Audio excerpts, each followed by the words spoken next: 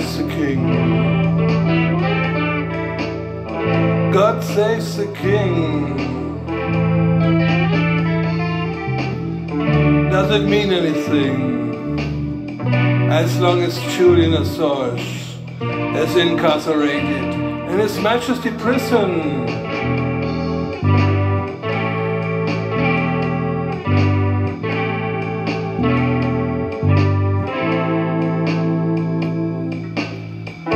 God saves the king. God questions the king. He touched the crown ring, but not for one bit. He didn't free Julian from an awful pit. It's like hell in the cell.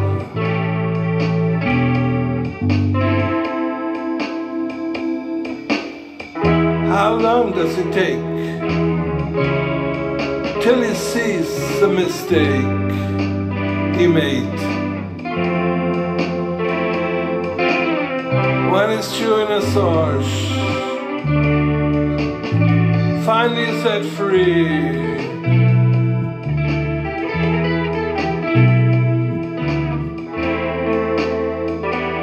God saves the king. God judges the king.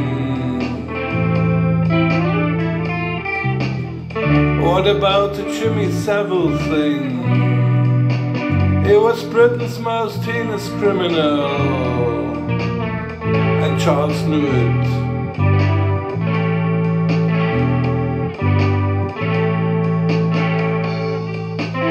The BBC also knew about it. All they did was a cover up. Charles Tea Time is spilled with innocent blood.